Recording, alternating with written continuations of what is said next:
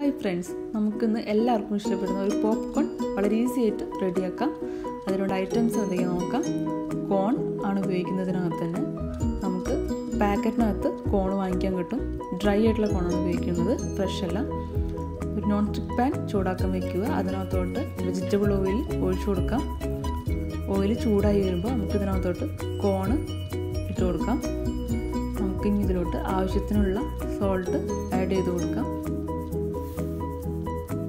നമുക്കിതിലോട്ട് salt add ചെയ്തതിന് ശേഷം നമുക്കിതിന് കളർ കിട്ടാൻ വേണ്ടിയിട്ട് നമുക്ക് കുറച്ച് ടെർമറിക് പൗഡർ ആഡ് ചെയ്ത് കൊടുക്കാം. കുറച്ച് സ്പൈസി ആക്കുന്നതിന് വേണ്ടിയിട്ട് അല്പം ചില്ലി പൗഡർ ഓപ്ഷണലാണ് ആവശ്യമുള്ളവർ മാത്രം ചേർത്താൽ മതി. നമുക്ക് നന്നായിട്ട് മിക്സ് ചെയ്തിട്ട് നമുക്കിത് ക്ലോസ് ചെയ്ത് വെക്കാം. ഒരു ഗ്ലാസ്സിലിട്ട് ടൈറ്റ് അടപ്പ് വേണം യൂസ് ചെയ്യാൻ. നമുക്ക് നമ്മൾ പോപ്കോൺ റെഡി ആവുന്നത് നമുക്ക് കാണാവുന്നതാണ്. അതങ്ങനെ കുറേശ്ശെ കുറേശ്ശെ ആയിട്ട് റെഡി ഇതായി വരുന്നുണ്ട് റെഡി ആയിട്ട് വരുന്നുണ്ട്. നമുക്കിത് കാണാം. അഞ്ച് മിനിറ്റിനകത്ത് ഇത് റെഡിയാകും ഒരു മീഡിയം ഫ്ലെയിമിൽ ഇട്ട് കൊടുത്താൽ മതി. നമുക്കൊരു ഫൈവ് മിനിറ്റ്സിനകത്ത് പോപ്കോൺ റെഡി ആയിട്ടുണ്ടാവും. പോപ്കോൺ റെഡി ആയിട്ടുണ്ട്. നമുക്ക് ഏകദേശം ഒരു രണ്ട് മിനിറ്റ് കൂടി നമുക്ക് തീ ഓഫ് ചെയ്യാം. നമ്മുടെ പോപ്കോൺ റെഡി ആയിട്ടുണ്ട്. നല്ല ടേസ്റ്റി പോപ്കോൺ റെഡി എല്ലാവരും ട്രൈ ചെയ്ത് നോക്കുക.